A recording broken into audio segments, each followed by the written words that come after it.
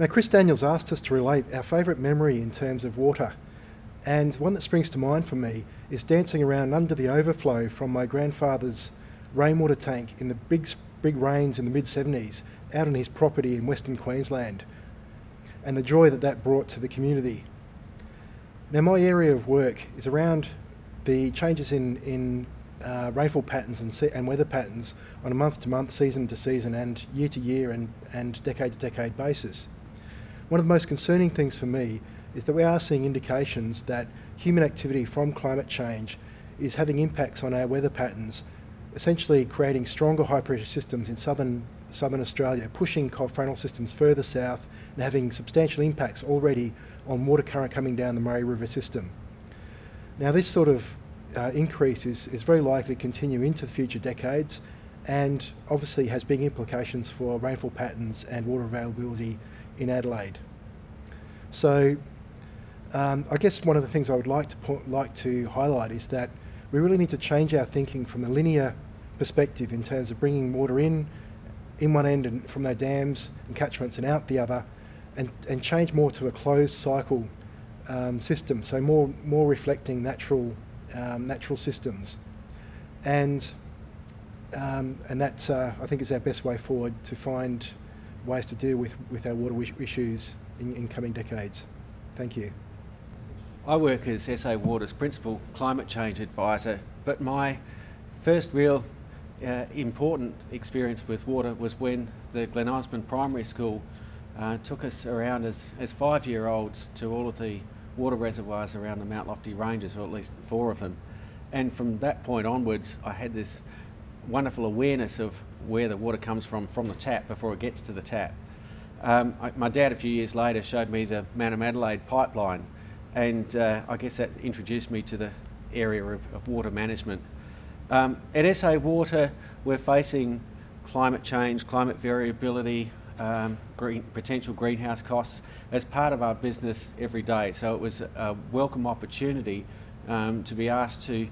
bring together some of the, the thinking in the climate change and water management chapter in looking at this chapter, we felt that we had to set the context of climate change and water for Adelaide, and that story goes back hundreds of millions of years. So, with um,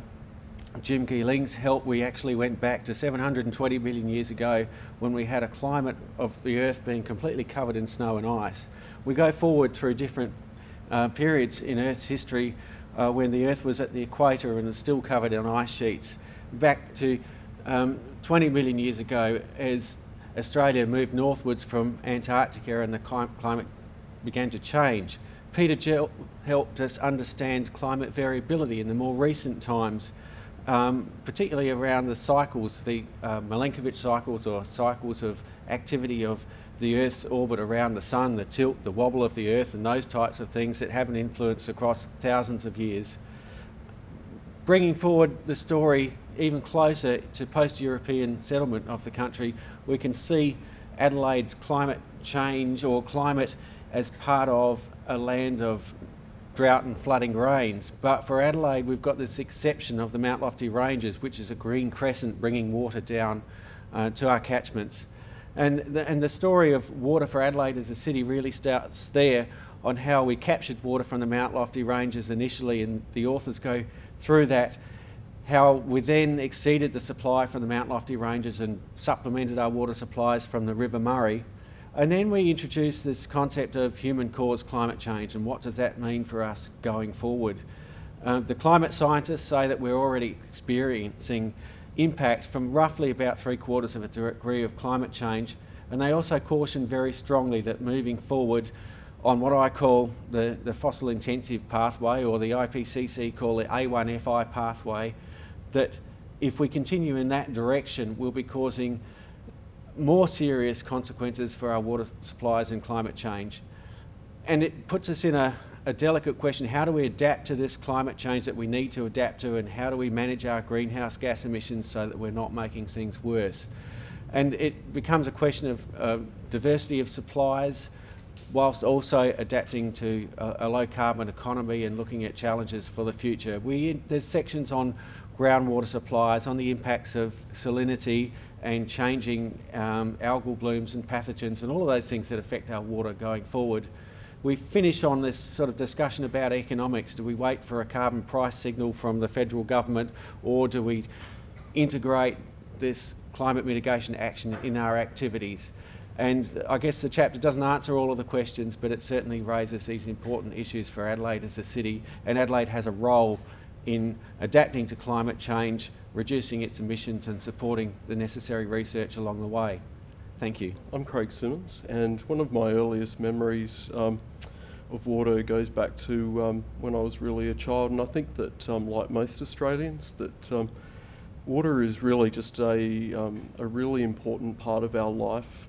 and it brings such a huge refreshing and spiritual dimension to our life in many ways. And so, like playing at the beach, saline water, or having barbecues and swimming in the River Murray with family and friends, really, uh, water has always been a really important part of, of things that I do, and um, I continue continue to enjoy it today although um, the work that I do is now focused on groundwater, which is a little bit um, less visible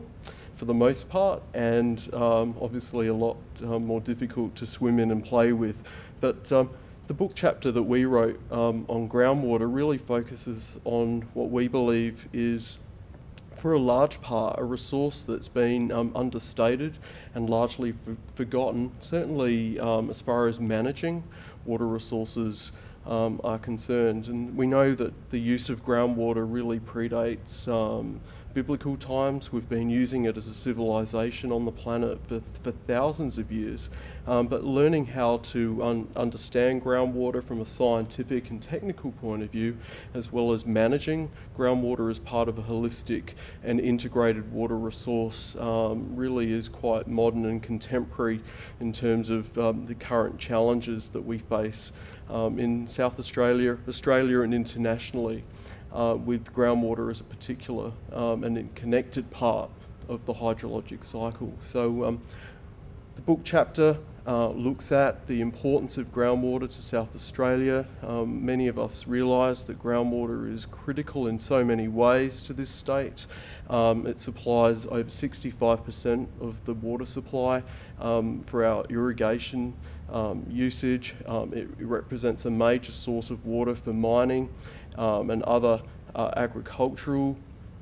um, industries. Um, more locally in the Adelaide metropolitan area, we use groundwater um, from the deeper tertiary aquifers for um, a whole range of industries, um, watering ovals, recreational sports fields, um, providing water for Cooper's Brewery, Coca-Cola, um, soft drink supplies, and our water um, for um, spring water comes largely from the Piccadilly Valley and the Mount Lofty ranges. So there's a whole range of usages. Um, there are over 2,600 um, low yielding backyard bores that we estimate currently extract groundwater from the surface um, quaternary aquifer, although we suspect that there are many more that we don't know about.